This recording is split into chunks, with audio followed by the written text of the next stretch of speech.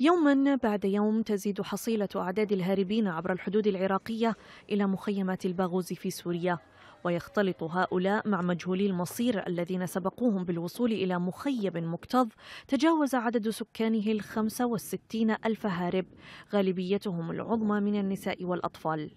اللجنة الدولية للصليب الأحمر تعمل على إحصائهم بقلق ففي يوم واحد وصل أكثر من عشرين ألف عراقي. تقتضي الاتفاقية العراقية السورية بإعادتهم إلى بلادهم متى خمدت الحرب وأعلن التحالف انتهاء داعش.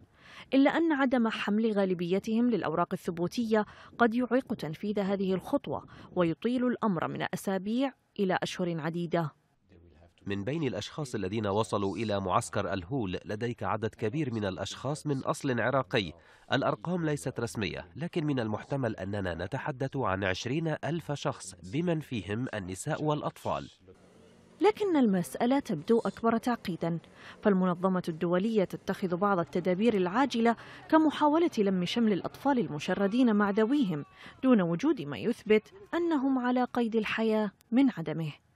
أما بالنسبة إلى غالبية النازحين ممن لا يملكون أي وثائق رسمية فلا يمكن حتى اللحظة فرزهم بشكل دقيق ولا يمكن تمييز المدنيين من المقاتلين. ما يشكل خطورة على أمن مخيم الهول؟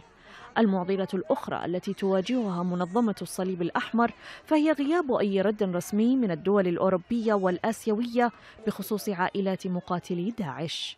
أحلام اليعقوب العربية.